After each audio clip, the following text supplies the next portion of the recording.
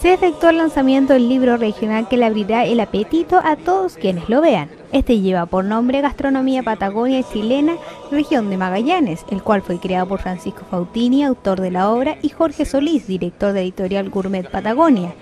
Patagonia Chile, región de Magallanes, es el fruto de un gran trabajo de investigación que se llevó a cabo por tres años de arduo proceso de profundización sobre la buena mesa regional.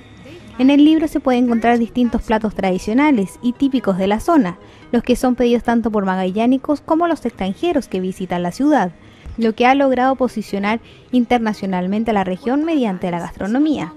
La edición cuenta con múltiples recetas, diversas fotografías de los platos, textos en prosa poética y mapas gastronómicos de la zona. Además, lo gastronómico se mezcla con la historia regional y se le aconseja al cocinero qué buen vino puede probar y degustar el plato.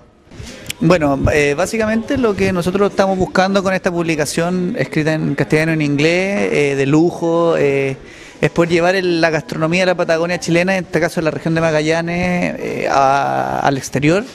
promover la cocina patagónica a nivel mundial y eso repercute en una mejor vitrina para los productores locales, tanto del sector pesquero, ganadero como agrícola y también para la oferta gastronómica local y así la experiencia de visitar la zona, la región de Magallanes, en particular la Patagonia chilena, resulta más atractiva al promoverla desde el punto de vista gastronómico, porque toda esta, toda esta fascinación inexplorada, mágica, virginal que genera la Patagonia chilena en el mundo, se puede apreciar en su comida. Y en este caso tenemos una gran oportunidad de desarrollo como región si es que nosotros nos abocamos a promocionar la Patagonia chilena como destino gastronómico de clase mundial.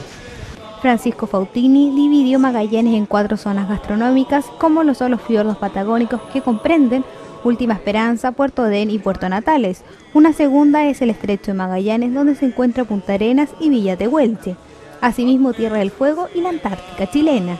Ya sabe, si usted quiere aprender sobre la gastronomía regional, no puede dejar de obtener el primer volumen, que en su primer tiraje es de 2.000 ejemplares donde encontrará productos locales como centolla, centollón, krill antártico, cordero, guanaco, ternera, ruibarbo, calafate y zarzapilla.